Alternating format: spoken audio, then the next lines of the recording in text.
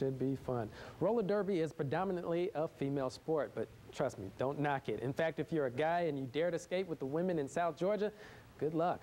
Melissa Mako shows you why, and this week, she's got game.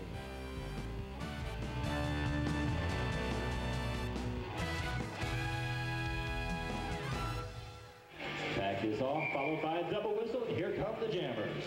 They hit. It's tough, but it's fun. They push. Oh, she's through.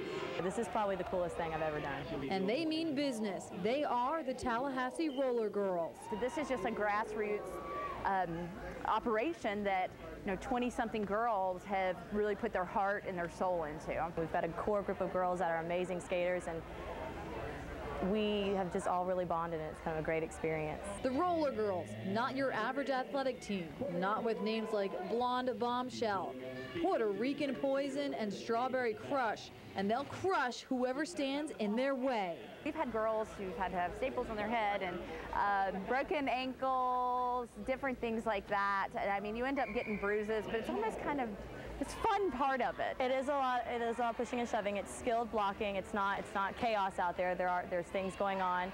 Uh, there's rules into how you can block and things like that. Strawberry Crush, and she's through.